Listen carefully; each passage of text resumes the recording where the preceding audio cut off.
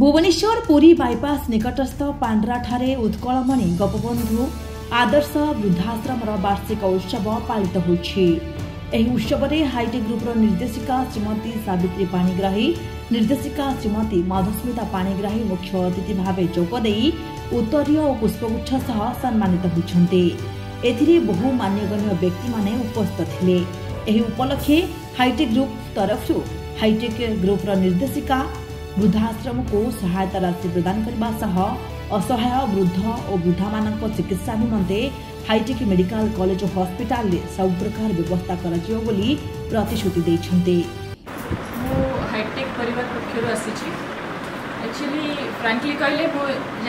आज सकाळ 10टा बेले मते एंती सार कहले गोटे बुधा सम अछन बाबू जाने सारन फ्रेंड से टिके जाई के आसन तो एक्चुअली प्रोग्राम भी कौन होता मुझे जानी वो ये आसला देखी कि गोटे वृद्धाश्रम अच्छे जार कि आज वार्षिक उत्सव चलती आउ फर्स्ट टाइम एमती गोटे जगार जोगदे मतलब बहुत खुशी लगुच आम तो आम डे टू डे लाइफ एत व्यस्त रोचे आम आम निज बापा माँ सहित भी कथा आमको टाइम मिलने आउ से भितर से टाइम बाहर करके से जो एत जन आम वृद्धा माँ बापा को नहीं सेवा कर मुझे हाथ जोड़ी प्रणाम करी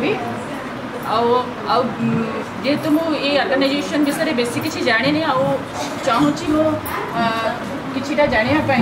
फ्यूचर आपण सहित कंटाक्ट रही कि जानापी चाहूँगी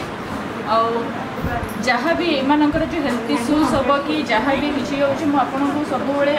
हाइटेक् पर पक्षर आपण को सब हेल्प करने आगे आसबू से आप कि ये न भाविकी सब आम पाखक आसपारे आ